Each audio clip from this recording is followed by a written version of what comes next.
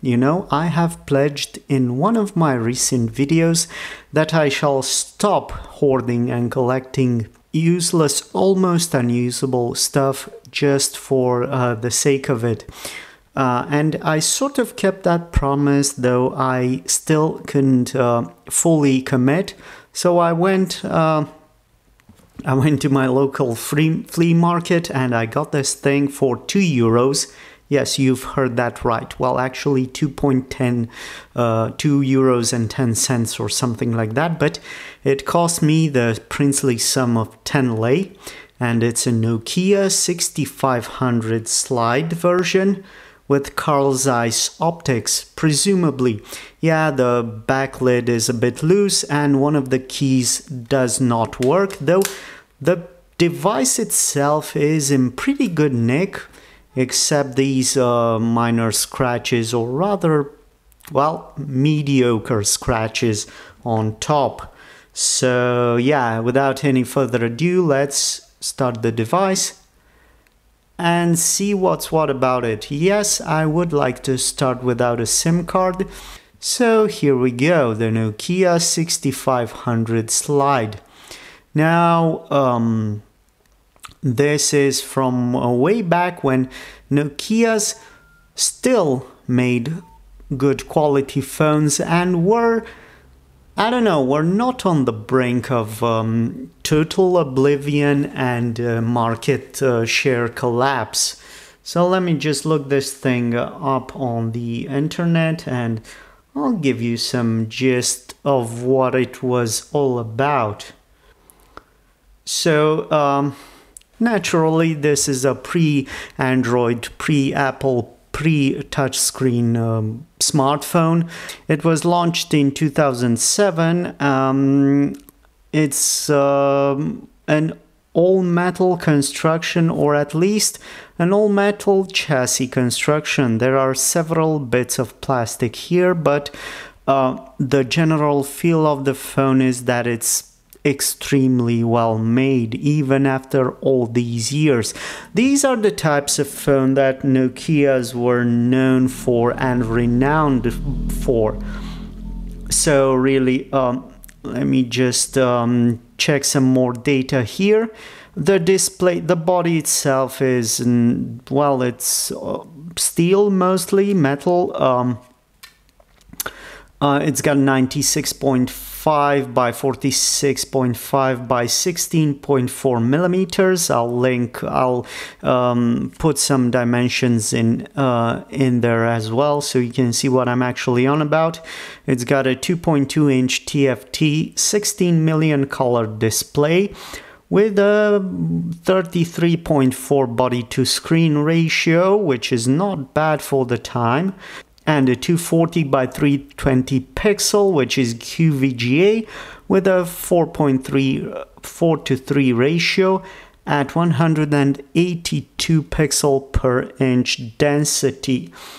Uh, it's got micro SD, um, a 3.15 megapixel autofocus um, camera by Carl Zeiss Optics with LED flash and uh, 480p 15 resolution video capability. So let's see if we can start this thing up. Uh, the D-pad has a bad uh, function. Uh, the bottom button does not want to work, but that's not really such a big issue considering what I paid for this thing. Let me see if I can find the camera and we'll take some pics. So oddly enough, the camera works and I have been uh, able to uh, get it to function. Though as you can plainly see, it's not a huge, uh, it's not a great um, unit. Low light is not its friend and really let's see if I can focus on it yeah, there's a button here on the side, right there, which allows you to focus on stuff. So a quick action allows you to focus, which is really neat. Let's see if I can take a pic. Yes, and I have managed to do so. Not sure I'm into focus right now, but there we go. Yeah, so here is my image. Not this one though. What about this one? Yeah, so um really not that bad of an image. Let's see if I can zoom. Well, not great either, so we'll leave that be. I don't know, in 2007, what was Nokia doing? Well, they were on their way out, really. Uh, the writing was on the wall, though they didn't want to accept it, or they just ran out of uh, options and uh, really um, ways to improve and gain traction on the market um, back to their former glory. Now, the construction is interesting as it it's pretty neat. It's still has that mechanical feel. The slider works perfectly, even though the this phone has seen some uh, well some rough days and rough periods. Uh, it still functions. Um, most of the buttons work with the exception of this uh, lower D-pad and really it's well I don't know how to put it better it's got that indestructible work anywhere in any conditions feel that only Nokia's were able to emulate and to mimic.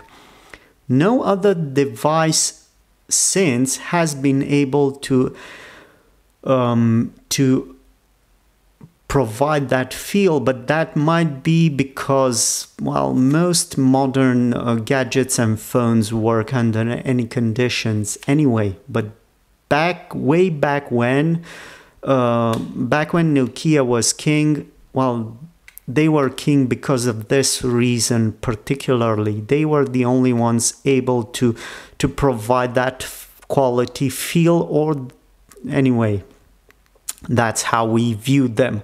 Now in terms of connectivity here we have a usb port a mini usb port i believe and this little uh, button releases the hinge for the or the clasp for the back panel.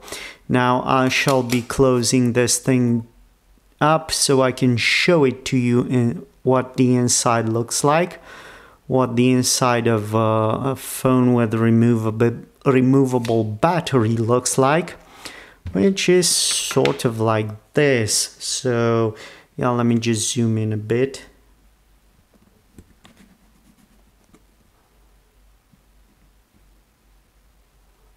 Yeah so there we go. I guess that's all she wrote, folks, because uh, there's not much going on with this device. The battery is a bit swollen, but I have managed to charge it up correctly um, with my trusting um, with my trusting um, universal charger unit. So sorry about that lag. I was just focusing on the phone.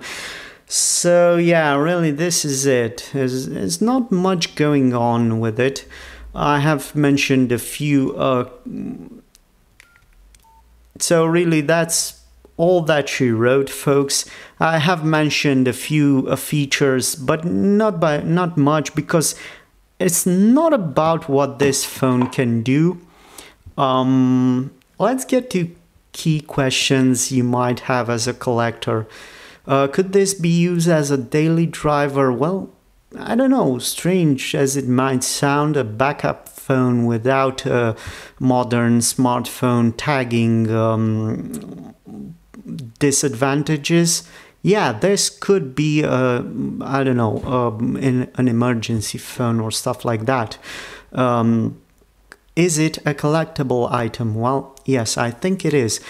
All metal construction, beautiful fit and finish, um, exquisite feel to it, and plus it's a Nokia, so who doesn't remember Nokia phones? I think this will slowly appreciate in value, not by much because it was built and sold by the tens or hundreds of thousands, though not millions.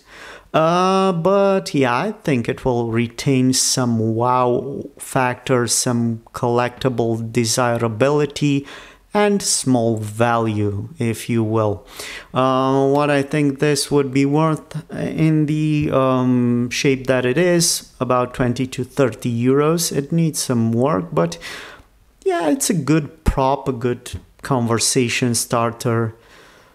And well, since I'm collecting old, useless, obsolete, and quirky tech stuff, yeah, I sort of love devices like these. So I guess that's it for me um, and this short clip. See you around in the next one. Bye bye.